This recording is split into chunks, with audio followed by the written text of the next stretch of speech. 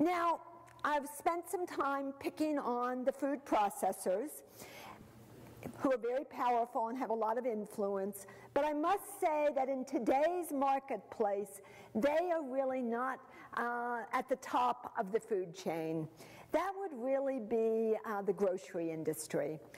It's the grocery industry and the consolidation that we've seen in the grocery industry that's really driving the consolidation all the way down the food chain. And I would also say that if you're looking at something like potato production, it's also the consolidation in the fast food uh, market and the fact that McDonald's controls about 15% of potato production.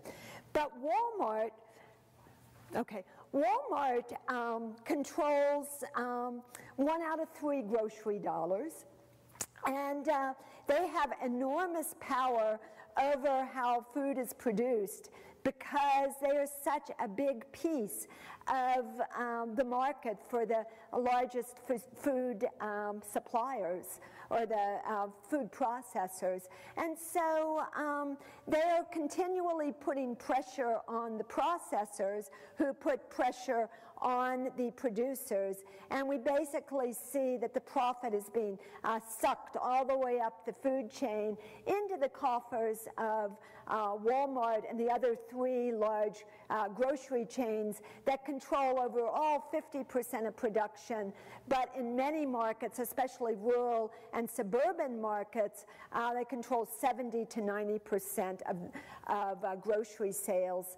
So uh, one out of three grocery dollars is spent at Walmart, but the Walmart heirs have as much wealth as the bottom 40% of Americans. And to me, that's kind of a metaphor for what's gone wrong.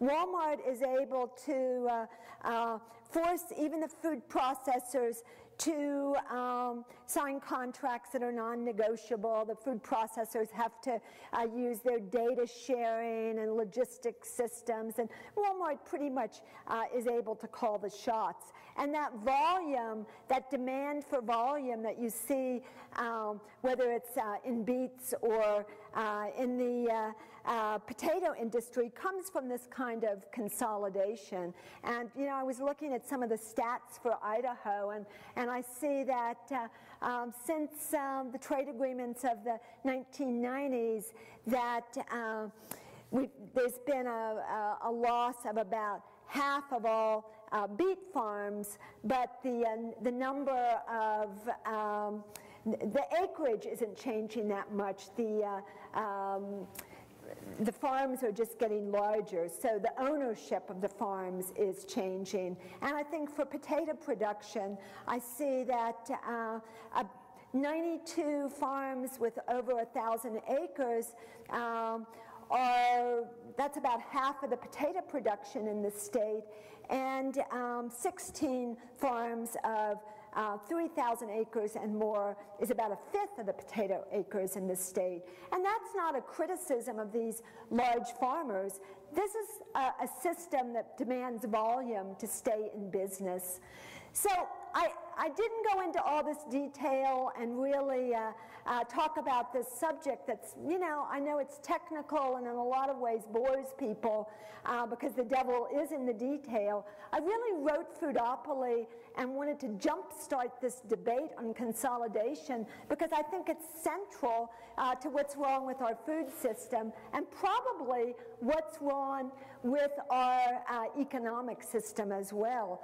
And at hey, this time that we are about to uh, have more trade agreements, the Trans-Pacific Partnership that I know would have uh, effects on uh, Idaho, I think it would be prudent to think about renegotiating some of these trade agreements that have already had a, a major effect on our food system and on our uh, economy as a whole. Hey, Wenonah. And Wenonah.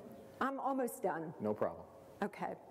Uh, and I just want to end by saying that what I'm really uh, arguing for that we need to uh, reinvigorate our democracy, right? And there are a lot of smaller things that we can do to lead up with this. But if we really want a food system to pass on to our children, we also need to have uh, a democracy. And I think that's why we all need to get involved in these details and um, you know, the devil is in the detail, and we need to get involved in the political system that's created uh, the foodopoly. Thanks so much.